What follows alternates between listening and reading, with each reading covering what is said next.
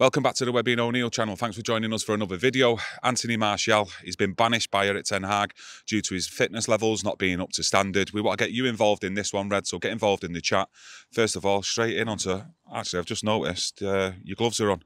Is this a tribute to Anthony Martial? Because you don't normally wear gloves. No, I don't normally wear gloves. I've just noticed. And they're not a tribute to Anthony Martial. It's cold out here.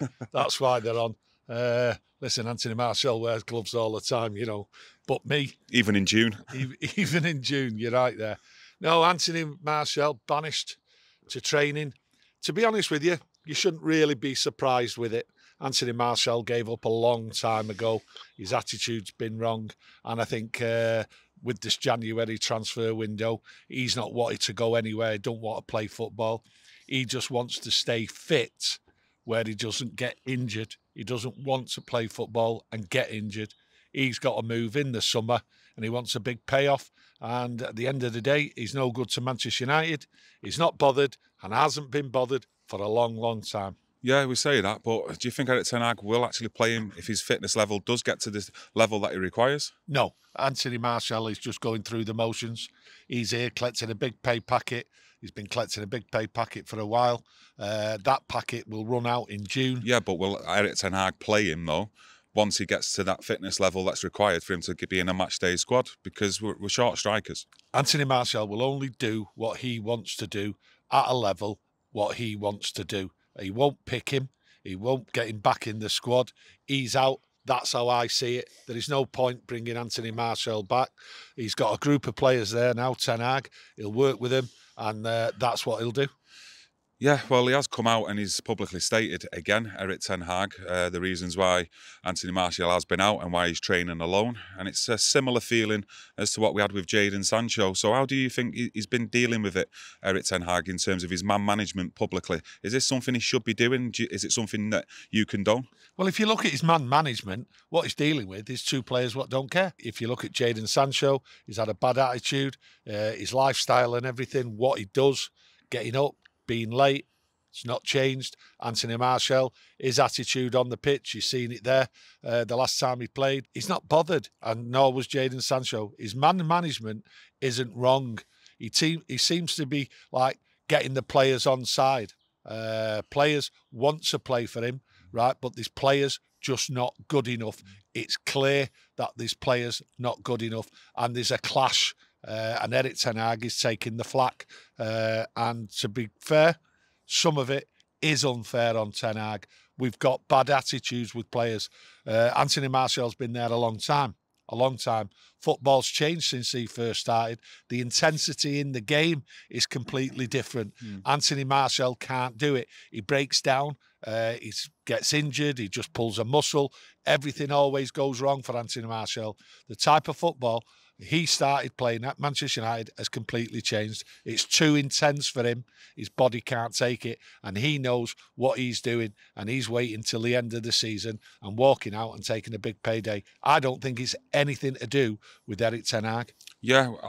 Look, when Erik Ten Hag first came in, there was a lot of fans on our channel and in the in the wider fan base saying that the culture needed changing yes. inside the club. Yeah. So we was never going to get it all our own way this year, or when Erik Ten Hag first come in, in terms of performances on the pitch. You know, some players obviously reacted quickly, and we got that manager bounce, so to speak. But yeah. this season, it's actually shown who are the players who we need to take forward, and some of the players that we just need to get rid of as soon as possible. Yeah, I think what it is, the style of play and what he wants, Erik Ten Hag, and the way they play, players aren't capable of doing it. Uh, you know, people keep going on mm. about uh, people breaking down with injuries and that. It's the intensity of the game, mm. and people just aren't good good enough yeah. in this squad. Uh, and that's why we're seeing performances like we are doing this season, then, because Erik Ten Hag has clearly changed and tweaked a little bit in his match day tactics in terms of the midfield area yes. and actually up top as well. And we're starting to see certain players who can't adjust to it. No, there's a lot of players what can't adjust to it. If you look right through the Premier League, each year it's changing, it's getting faster and faster, mm. and a lot more players are breaking down. Some people are putting it down to too many, too much football. But what it is, it's the intensity, and that's what Erik Ten Hag wants. Yeah. He wants an attacking side. He wants to win every game. He's pushing his players. He's got a style of play. Uh, he that's what That's what he wants to do, and some players can't do it. We're not seeing a style of play, Mm. okay, uh, because it's breaking down all the time because certain players aren't good enough. Mm. We haven't got the quality here at Manchester United. Mm. Players what have been here for a long time at Manchester United clearly aren't putting it in because they can't do it. It's not what they're used to. Yeah, no, I totally agree with the man management in the uh, on the team, on the match day squad, Yeah. in in the game, etc. Some of his man management this year, I have questioned it myself, and I've come Yeah. away pulling my hair out because I don't totally agree with it. But his man management off the pitch, in the background, in trying to change things around, getting these players out the club, I'm fully supportive of, and I think he's doing a great job.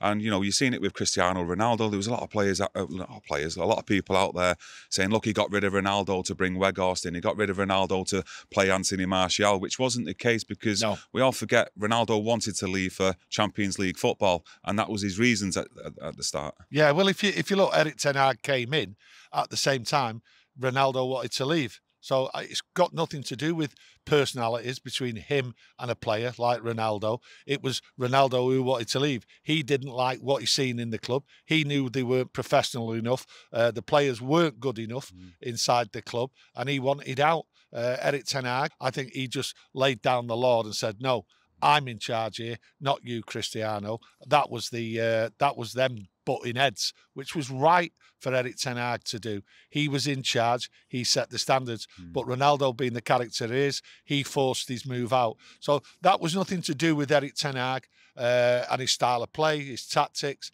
and everything else inside the club. Mm. That was just a situation he had to deal with. I think his man management has been good. I've listened to uh, Tom Huddlestone uh, the other day, uh, the under 21s coach. Excellent, excellent uh, conversation. What he was going on about Erik Ten Hag. He's telling us the players are behind Erik Ten Hag. People in the club are behind Erik Ten Hag. They understand what he wants, how he's going to take the club forward. And it looks to me, from what he was saying, Tom Huddlestone, there, that Erik Ten Hag is going to be staying here. Uh, so the players have got to get used to it. But Erik Ten Hag has got to get rid of players like your Martial, and this is just one way of dealing with it, as if to say you're out of this team, you're out of this club. That's what you want anyway. So why am I taking my time up looking after you? That's how I see it. I think he's he's done the right. Th- uh, no, not the right thing. He's done the thing for himself, Anthony Martial, and that's all he's thinking about. And Erik Ten Hag is thinking about Manchester United. So just get out of my sight, get out of the squad. Uh, I've got no reason to even like look at you. That's how that's how I see it.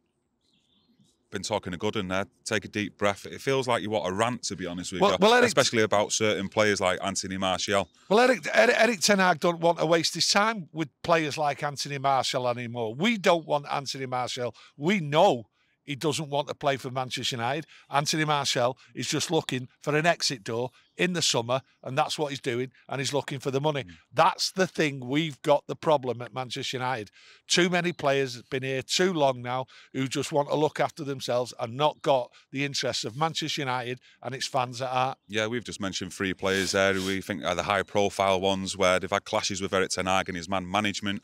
But if you do think there's any players still in this current squad who you feel that should be shipped out in the summer where they're just not performing for Manchester United, you don't see it getting any better, let us know in the comments. But just to end on this note, do you think his style and his man management, Erik Ten Hag, that suits Ineos to Jim Ratcliffe and Brailsford going forward? Do you think they're on the same page in being ruthless with this squad?